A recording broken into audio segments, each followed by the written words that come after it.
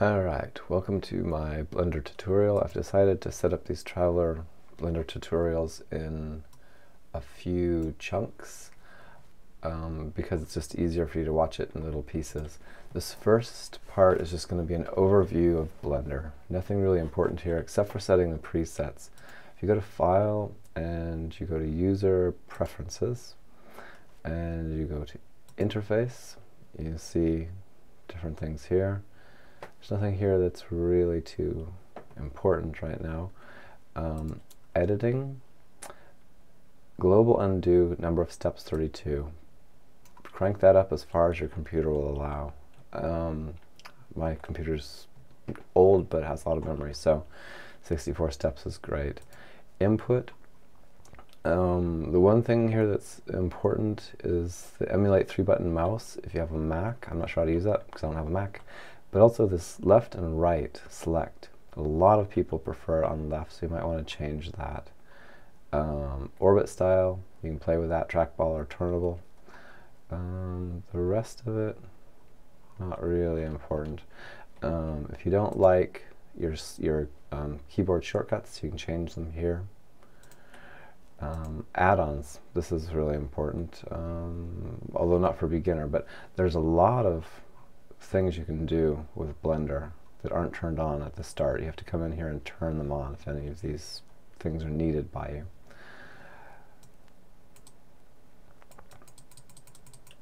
Um, the next thing's themes. You can set all your colors for everything you could ever think of. File system. This is something you might want to set. Where your fonts are, where your textures are, plugins, scripts. Um, they're temp folders where things are saved. Um, sounds, pretty obvious. Um, animation player. Interesting. Never played with that. Um, and then system information, again, the, direction light comes from, sometimes that's important if you're trying to work into a little corner of your ship and you can't get the light in there. Um, all the rest of this I think is pretty obvious. So that's that. I'm going to close it. And now I'm going to just save the preferences, save user settings one thing that you want to be aware of is when you do this, it actually saves this little cube here. If you're in the middle of a project and you've saved a bunch of things and you save user proof pre preferences, it will save your spaceship, which is kind of stupid, but that's how it currently works. They're talking about changing that. So this is our basic screen. Here is a light. I'm selecting that with, with a right click. This is your camera. This is the default shape. This thing here in the middle let me get rid of those little arrows. This thing here in the middle is your 3D cursor. It's positioned in 3D space and it's where things will go when you add them. Um, what else? There are, on the number pad keys, allows you to have different views. This is from the top. And it's important here to see from your top view, there's a line here from the light. That's because perspective is on. If you use the 5 key, it turns off perspective and now there's no line because it's straight down. So that's an important distinction to make. Um, the next thing to see is the middle button of your mouse allows you to rotate around. Um, and if you've clicked on something, you can grab it. Oops, wrong thing there, grab and move it around. It moves in the plane that you currently see. So if you're looking from the top down and you move it, you're going to move it. This red line and this green line? Here you have a red and a green, so you move it in the XY plane. If you're from another side, and here you, here you can see a Z and an X, then it'll move in that plane. That's important. Up here it tells you what perspective. Here's front perspective, right perspective. If you want to get the other perspectives, like left perspective, then use the Shift key, and that gives you the back side of the shape. Ah, sorry, it's not the shift key. It's now the control key. They changed it. Um, the 4, 6, 2, 8 keys allow you to rotate around. I don't use those. Almost never use those. Um, what else do we have? Ah, yes. Zero key gives you the camera view. Um, this here is your the edge of where the picture will be can be very important. Um, then here we have object tools.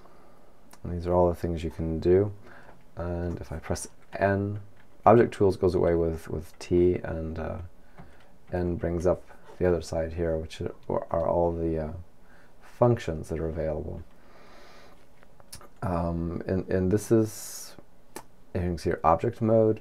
If I use tab, it'll shift into edit mode and it, it edits the selected item, which is our cube. And you'll see that these all changed. That's important to keep track of. Um, the other thing to be aware of is that where the mouse where the mouse or where the mouse is is what um, the key affects. So since I'm in this window, it's affecting this window. If I were to go over to this window and do tab, it's not going to do anything because there's no function associated there. But there are other windows here. There's one here, there's one here, and there's one here. Um, up here, we have default. This is the default layout. There's a layout preset for animation um, and other things, compositing, UV editing. UV is uh, an important concept. This cube here has six sides. Um, X, Y, Z are the dimensions. UV is just like X, Y, but it's the surface of this cube, and you can unwrap this and it'll appear over here, like taking skin off an onion or skinning a deer or something. And then that allows you to uh, save a bitmap of that skin and paint it. You can go and paint it in Photoshop or GIMP or whatever your choice is. Um, video editing is just a video editor. It's pretty nice actually. Um, game logic is for for setting up games, something we're not too worried about. Yeah, so anyway, back to default. Um, over here on top we have an object-oriented layout of what's there. There's not much here right now. Um, one important thing is that this cube has materials and textures all associated with it. Um, it's called cube right now, and you can see it down here. It says one cube. That is something that you will want to change. Um, right now we're in this little camera. This is the, the scene information. We go here, we get the units. Um, here, a little world. Gives you all the, the stuff about the sky and light from the sun and all that. But here it says cube. So we might want to change that to space, if I can type, spaceship. And now you can see it's called spaceship here, and up here it becomes spaceship. But underneath it's still cube. Um, I won't worry too much about this under here being cube. Um, but it's nice to name this because if you're if you make something called chair and then you want to load it um, by going over here to append or link, then you're going to want to link something called chair. If it's just called cube 56, you won't know what you're doing. So it is good to name things. Um, you can see a lot of other ways you can group things and look, things you can look at in this view screen. Um, back to this. These are your constraints. That's mostly used for animation. Not too much here to worry about. Um, some things like child of can be useful if you if you have uh, a control surface or a door or something, and it's a child of the spaceship. It's fairly advanced, don't need to worry about that now. Modifiers, there's a lot of them. Arrays allows you to make duplicates, and then duplicates duplicates of duplicates, and allows you to make shapes like star flakes, star snowflakes. And I can't talk tonight all of these won't worry about. Bevel can be very useful. It's, it's about joining shapes together to make composite shapes where one takes a chunk out of the other or adds to the other. Build, I don't know, I've never used it, it's a new thing. Um, decimate uh, helps uh, make meshes smaller, I believe. All the rest of these are pretty obvious. Mirror we'll be using a lot. It allows a left-right mirror, and spaceships are generally uh, symmetrical. So it's good, you can build one side and the other side's the same, you don't have to build both sides. Multi-resolution is just a way of getting uh, something to have more detail when there's not so many points. Um, screw is, is for making things that twirl. Solidifies allows you to take a, uh, an object and make it thicker, give it body. Subdivision surface is similar to multi-resolution. It gives you more points. It allows things to be smoother. UV projection I've never used that, but I think it's they're doing that UV surface mapping in a new way. Um, the rest of these are ways, as it says at the top here, to deform the mesh wave and whatnot. Um, and then these are simulations, clothing, collisions, explosions, smoke, soft body is kind of making things out of jello. Also again, not too important to spaceships. Then here's the next thing where we can set that name again. Can also call this spaceship. And now you'll see up here, I guess I gotta hit enter. Um, up here now we have spaceship and spaceship for both of these. I'm not really sure what to call these different uh, the different names, but one's the actual thing and one's the object. Um, these things here aren't real important right now. We'll ignore them. Um, this is a very important section. This is where you set the color. Right now you can see our cube is gray. If we want to make the specular color, which is blue, then there we have that. And you can't see it because it's the reflected color. But you can see here on the circle that there's a blue highlight. If we want to change the body color, then we can change that here. Now we have a green cube with a blue highlight, which blue highlight's kind of silly. More often we'll want, like say, a warm yellow, I'll make it really yellow, but a yellow highlight to give a warm lighting effect. Um, wire gives you a wireframe. Volume is for things like smoke. Halo is for making things glow. It's useful if you're using particles and you want to have fireworks, for example. Or uh, halo can also be really useful if you're making fire coming out of the back of your spaceship rocket engine. Um, let's see. Lambert and Cook-Torr, these are just different ways of doing the math. Not important to us. Hardness is how shiny the object is. We'll go back to uh, surface. You can see this circle here. It's got a kind of plasticky look if you change the hardness. Yeah, see how that changes that circle. If you make it really hard, the point will be smaller. Makes it look more shiny, basically. Um, shading. This allows uh, an object to emit light, like the surface of an LED or something like that. Um, amount of amount of global op yeah, this ambient's not so important. Just leave it at one most of the time. Shadeless, some things you don't want to cast shadows, stuff like that. Translucency is to make your thing uh, translucent, obviously. Transparency, um, again, making things transparent. Z transparency or ray trace. That's an important decision. Z is a cheating way. Um, it's faster, but it's not as accurate. Ray trace is obviously more accurate. Mirror is a lot like, and it opens up, you can see here, is a lot like transparency. Subsurface scattering is um, for like your skin or marble, things like that. The light goes into it and through it and comes back out. And if you want skin to look right, it has to have subsurface turned on. It's also very processor intensive, so and not too relevant for spaceships. Um, strand is is uh, for making things like hair. You actually shoot a particle into the air, and that kind of becomes your hair strand. Uh, again, these are just settings, not real important to us. Shadows off or on, whether it receives them, stuff like that. Uh, so that's that. Um, then this is also important. This is a texture. Um, we take like a cloud texture for an example, as you can see here, it kind of looks cloudy. Um, we'll turn on both so you can see that here is the cloud texture, here is our sample marble with a nice shiny spot, and we have the green color, the green is here, but there's also a second color, purple, and we can change this. So we want green and uh, say kind of a white green, and we have a kind of moldy looking piece of marble. Um, what else? Uh, this is this is something just look up in the manual. No, won't go into that. It's not too important most of the time. These are different settings for your cloud.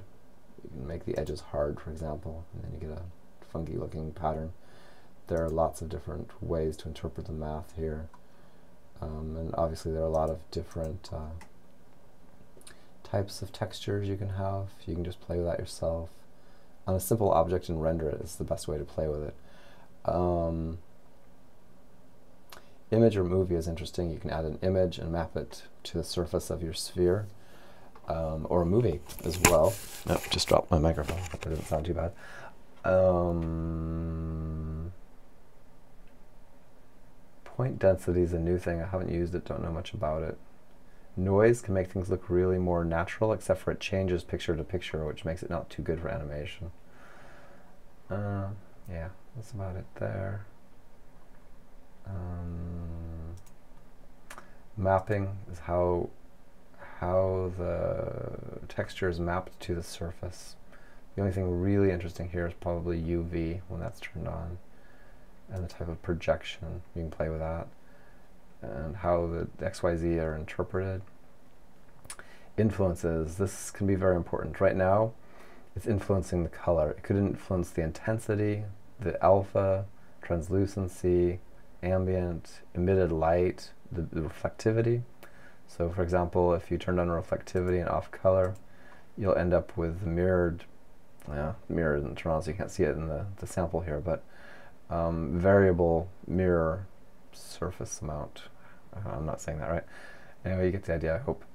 Um, also can affect the geometry. That's often very useful. Uh, we usually use normals. And you can see up here it's become wrinkled with this cloud texture. Um, the way the math is mixed together. Yeah, that's pretty much that. This is just um, for doing particle systems. We won't worry too much about that. This one here is for enabling physics for cloth, fluids, smoke. Again, I'm not going to worry too much about that. It's fairly complicated. Um, what else can I tell you? Grease pencil is for drawing on the surface of the picture here of the interface. It's helpful if you have a team and you're conveying messages to each other. It has a lot of other uses. It's worth looking up in the manual. Um, right now we're in object mode, so you have the location XYZ, you have the rotation.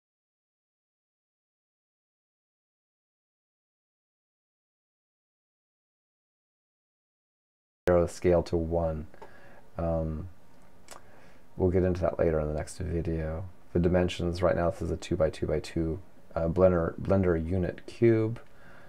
Um, the view is using a 35 uh, angle millimeter and perspective view.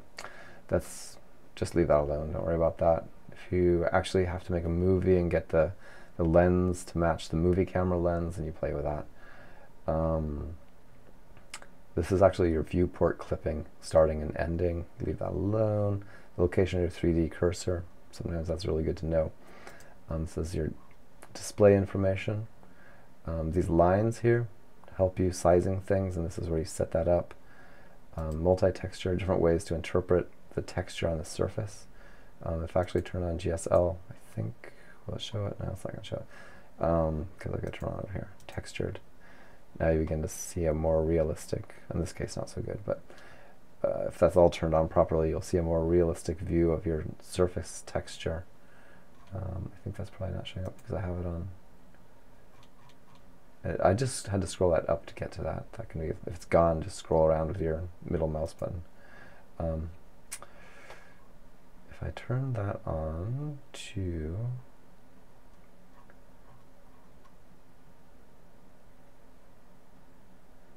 Okay, I've lost it. What did I do?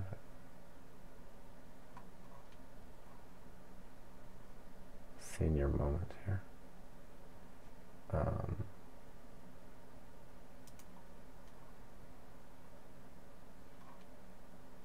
yeah, I was in the right place. Okay, sorry about that. Um, to color, I think it'll show up and turn the normals off. Of course, I'm wrong. Um, good thing to know, F12 to render your picture, and now you can see that texture. Um, escape to get back. That's very good to know. Another thing is control up arrow to use the whole screen to view things, and maybe you might want to do N and T, N and T, so you get your whole viewport there. That can be important if you have a small monitor. Um, and then control up arrow gets you back to normal mode. Um, spacebar brings up a window that allows you to find things like, say, if you want to subdivide something. So you can do multi-res subdivision or subdivision set. Um, that can be useful at times if you want to quickly bring up a command and do it. Over here you have all the commands you can do. If we go into edit mode, you'll see these change. There's a lot more of them. This one over here also changes. So if you can't find the command, it's probably because you're in the wrong mode. Um, other modes, weight painting, has to do with animation and getting surfaces to stick to the bones properly. Um, texture painting is just what it says, texture painting using the UV maps. Vertex painting, we don't ever use that really, but it's to paint the vertexes, the little dots there.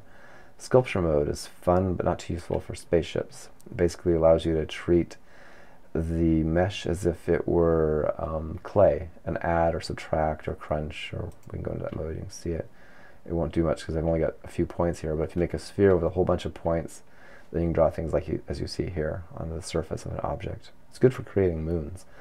Um, yeah. And then edit mode, object mode. Um, here, under object, you have all the possible commands you can do. It's better in Blender to always learn these things like Control G for create a new group um, it really is much faster and much easier and uh, it's just the way to do it. That's how Blender was designed to be used is with hotkeys. Um, and different ways to select things. Again, we'll play with that later. And view, you can change all your views here. But most of these are done with the number pad keys and things like that. So I don't click on this very often. So, what else? Oh, this is your timeline for animation. These are your frames. Right here it gives you your frame number. I'm currently in frame 50. The animation is set to start at 1 and end at 250. Here you can play the animations. Um, I don't know what that does. Don't ever use it. This has to do with keying animation, which means setting the endpoints and then the computer calculates the positions between the two endpoints. Again, not too important with spaceships. Same type of things here more information. Nothing really critical. Um, oh, this button, a very important button. You can change each viewport window to what you want it to be, like for outliner, which is duplicate of this here. This is also outliner. I could change this one as well. Um, this one is normally in 3D view, but if you want to set up your own thing, go ahead. Um, here there are little tabs. You can pull these, and now you have two windows. This can be useful if you have this you this window perhaps in your perhaps in your camera view, and this one's your working window. Perhaps you're looking at it from over. That's very very useful at times. Um, if you get tired of these and you want to get rid of them, middle click, join area, and then you get a didn't do that right. Join area. Why isn't that working?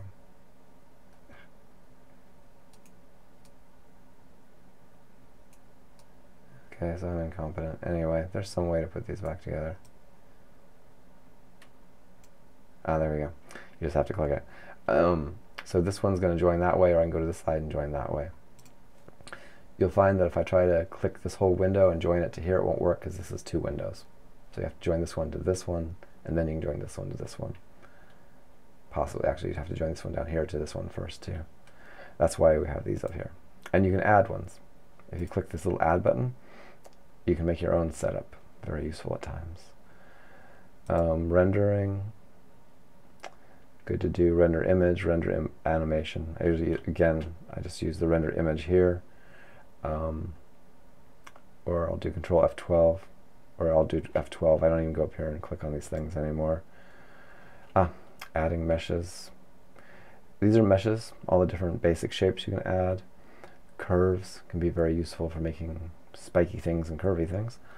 Um, surfaces, I'll let you just play with those. Meatballs are kind of weird, or metaballs, meatballs. Um, there's one inside there. I'll get rid of our. Okay, now we have one of these balls. We'll add another one of these balls. Let's do it the easy way, which is Shift A. Um, I have two of these balls, and if I grab the grab the uh, you can see they smooshed together. Kind of cool. Um, it can be useful. You can get a whole bunch of these things and make cool shapes. And then you can convert them back to a mesh. That's, that's the important trick. Um, other, what else do we have? You can add text. Um, amateur, this um, armature to uh, add bones to do animation. Lattice is something you can put around your model and then deform the, the lattice and it deforms the model. Empties are just points. They can be very useful. Sunlight, spotlight, hemi area. Force fields, if you're doing, um, um, God, I can't think. Uh, it's too late. Um, if you're doing physics, then you can add wind, and then you can have your piece of cloth blowing in the wind, or whatever, grass blowing in the wind. Group instance, this is a way of grouping objects together. It's very uh, useful sometimes when you're importing things for, from uh, other Blender files. Uh, ah, rolling this up and down scales, that's important to know. Shift middle button allows you to move around. That's also very useful to know. Yeah. Um, oh, one last thing. Right now we're looking, if we go to camera view, we're looking from the camera. You can also use things like the light by doing shift camera view. Now we're looking at the ball from the perspective of the light. That can be really useful when you're trying to do like R, I'll do R twice actually. Um, if you want to get your light pointed at the right thing, like you want this right, the light pointed right at the center of your object, and there you go. That's quite a useful way to do it.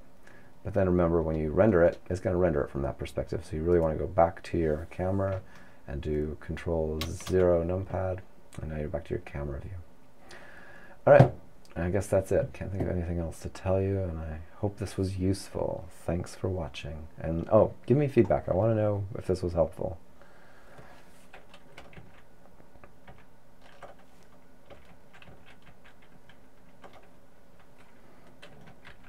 Yeah, now my film is not going to turn off for me. Oh, because I'm not in the right window.